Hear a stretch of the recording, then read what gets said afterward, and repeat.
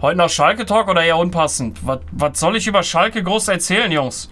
Broski und ich haben, äh, ich glaube, das letzte Video auf dem Highlight-Kanal haben Broski und ich einen Talk gemacht. Ein sehr, sehr cooler Kommentar, ohne Spaß.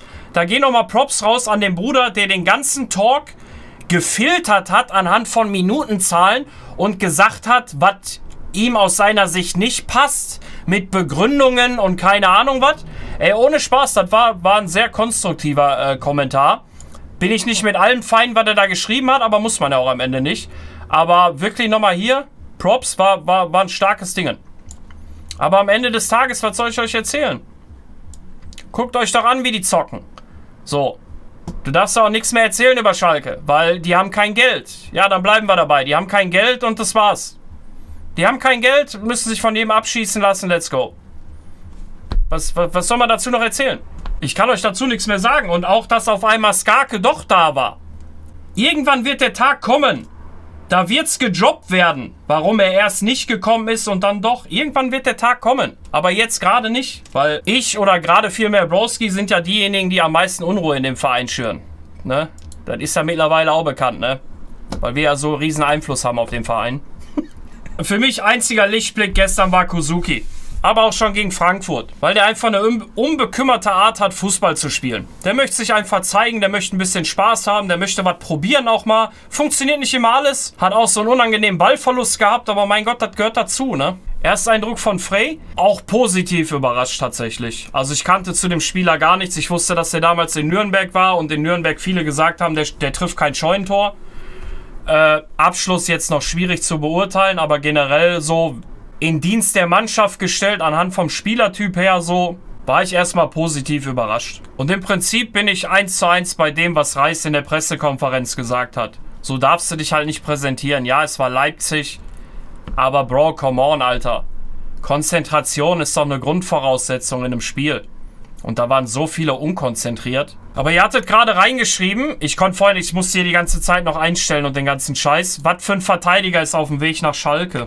Kann mir meiner verraten, wer da... Hä, wer ist, wer ist das denn? Den findest du ja nicht mal auf Transfermarkt. Moritz Lenz? Jens, wer schreibt denn Moritz? Jens Lenz? Gibt's auch nicht! Moritz Jens, meine Fresse, Alter! Jens Lenz. Oh, da ist er doch. Von Celtic Glasgow? Oha. Chat, den kennen wir doch aus FM, oder bin ich blöd? Jens Lenz. er sieht aus wie zwei verschiedene Spieler, aber ich komm, es ist so offensichtlich, aber ich komme nicht drauf. Ja, so ein bisschen Henrichs, Kehra, so, so, so ein bisschen aus allem. So Keine Ahnung, kann ich gar nichts zu sagen. 23 Jahre, 1,90, 11 Spiele, 2 Tore bei Celtic. Klingt erstmal, klingt erstmal nicht so verkehrt, ne? Mal ein bisschen Physi physische Aspekte da hinten mal in die Verteidigung bringen.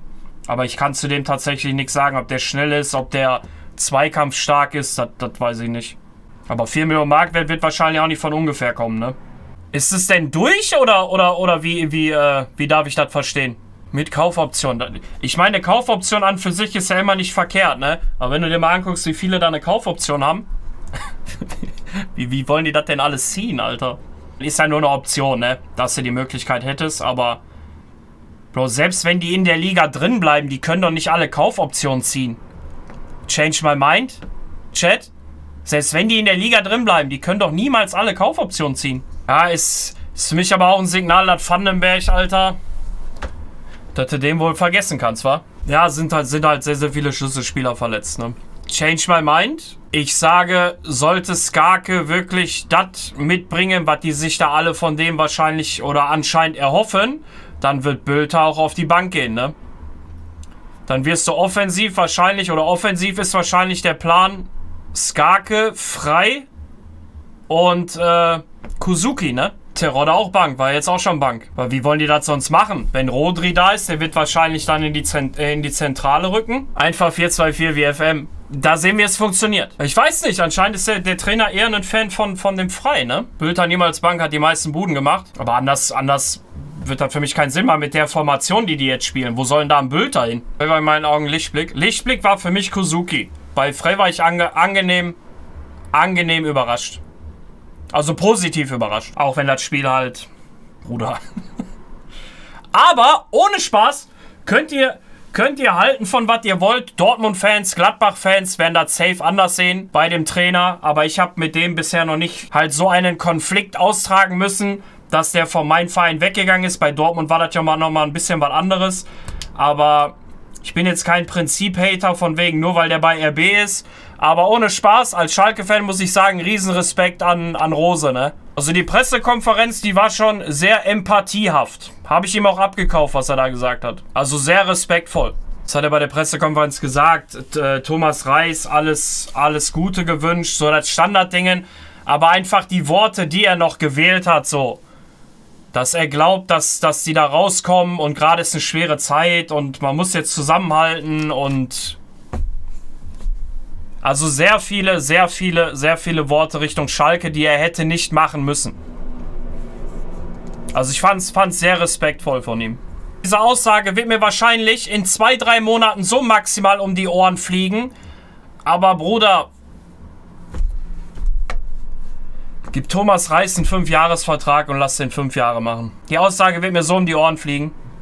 Aber das ist endlich mal ein Trainer. Ja, die Ergebnisse sind gerade nicht da, aber Bro, das ist für mich ist das der richtige Trainer auf Schalke. Vom Typ her, von dem, wie er Dinge analysiert, von dem, was er auch in Pressekonferenzen sagt. Nicht zu viel Spieler in Schutz nehmen, auch mal drauf. Brauchen die auch mal. Aber ich finde, das ist, das ist der Trainertyp, nachdem du jahrelang gesucht hast, finde ich. Ich finde, der passt perfekt nach Schalke. Ja, der rüffelt die Spiele auch mal. Das, genau das meine ich. Da bringt auch einer mal eine schlechte Leistung, der geht dann in die zweite runter. Hat er mit dem CC auch gemacht. Der sagt, der hat Potenzial, der kann das aber hier nicht abrufen, weil der abgelenkt ist. Dann geht der runter in eine zweiten, um sich darauf wieder zu fokussieren. Das sind so Tugenden, die mache ich manchmal. Aber genau so muss das sein.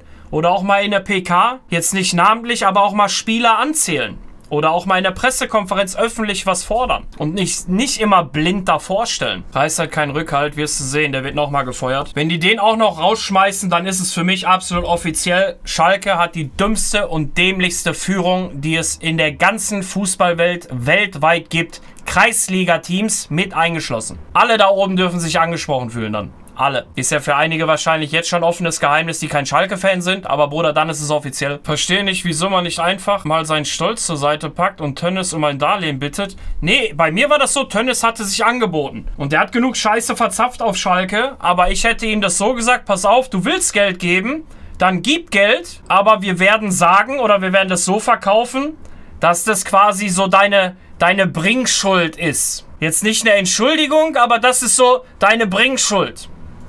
Wir werden dir die Kohle nicht zurückzahlen. Wir nehmen das Geld, damit wir das und das bezahlen können. Und du bist ruhig. Wenn du das nicht willst, dann scheiß drauf.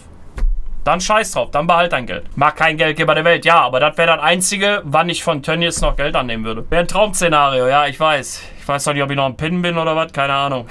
Müssen endlich von der EV weg, ja. Damit wäre wär vor ein paar Jahren alles ein bisschen ruhiger, ist auch schwer gesagt, weil du nicht weißt, was die dann für Leute da eingekauft hätten oder, oder was weiß ich nicht was, dann hätten sie das Geld auch noch verwirtschaftet. Oder verhunzt. Aber am Ende stehst du, stehst du mit dem Kopf vor der Wand. Und jedes Jahr, was du weiter wartest, wenn du die Entwicklung siehst, du wirst immer weniger Geld dafür kriegen. Immer weniger. Weil Attraktivität für Sponsoren, Partner, was weiß ich nicht was, halt immer mehr sinkt, ne? Ist nun mal so.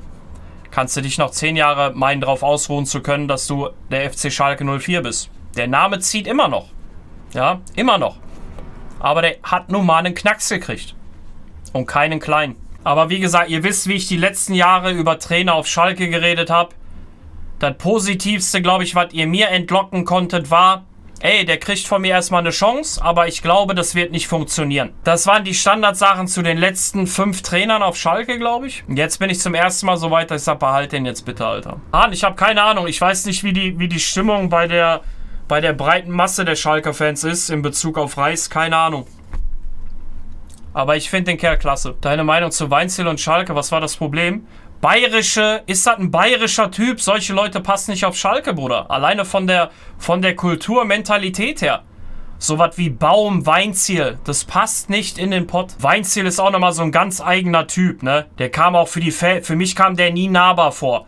Mir hat er immer den Anschein gemacht, als wenn der seine Nase keine Ahnung wo in den Wolken hat, Alter, und ich bin unten irgendwo, irgendwo in der Kacke am rumschwimmen, ne?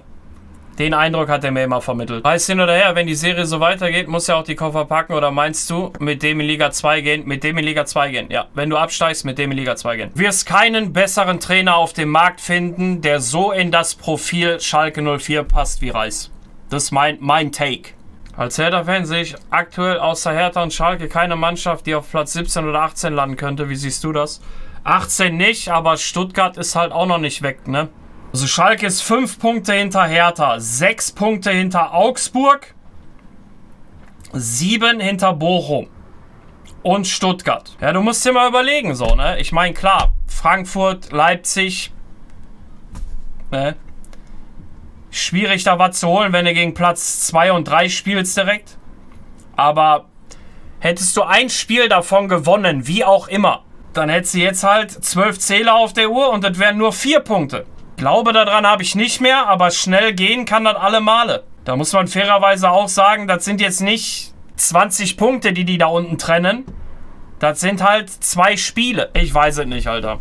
Mir fehlt auf jeden Fall der Glaube daran. Schalke für mich den noch einen deutlichen Schritt nach vorne gemacht im Vergleich zu Kramer. Ja sicher, wer da was anderes sagt, dem kann es halt nicht helfen. Nur Reis muss jetzt halt mit dem arbeiten, was er hat. Denn Kramer konnte nochmal mit ein paar anderen Leuten arbeiten, die jetzt alle verletzt sind. Mit denen konnte Reis nicht arbeiten oder die einbauen ins, äh, ins System. Mainz vor zwei Jahren sieben Punkte nach 17 Spielen möglich ist. Ja, möglich ist alles. Klar. Nur dafür musst du langsam anfangen, weißt du? Bleibt auf jeden Fall, bleibt auf jeden Fall interessant. So, der nächste Spieltag ist jetzt gegen Köln.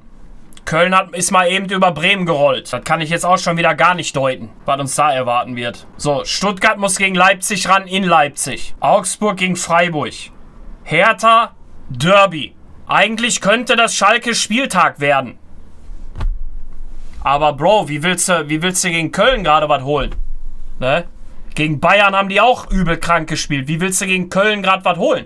Wird halt nicht leichter für Schalke. Nee, aber das wäre so ein Spieltag, wo du das, ein Spieltag, den du zu deinem machen könntest mit einem Sieg. Aber äh, wie, wie gesagt, ich weiß gerade nicht, wie du gegen Köln gewinnen sollst.